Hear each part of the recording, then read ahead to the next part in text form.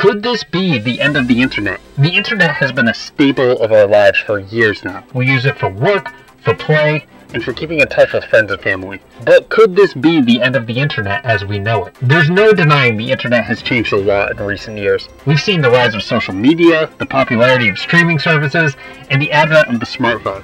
And as the internet continues to evolve, so do the ways that we use it. But with all of these changes, there's one thing that remains the same the need for speed. As more and more people get online, the demand for faster internet speeds has never been higher. And while the technology to provide these speeds exists, the infrastructure to support it does not.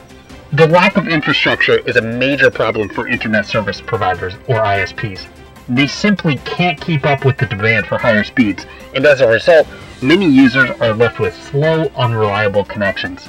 What's more, the cost of upgrading the infrastructure to support higher speeds is prohibitively expensive. So unless something changes, it's unlikely that we'll see a significant increase in internet speeds anytime soon. So what does all this mean for the future of the internet? Well, it's hard to say for sure. But one thing is certain.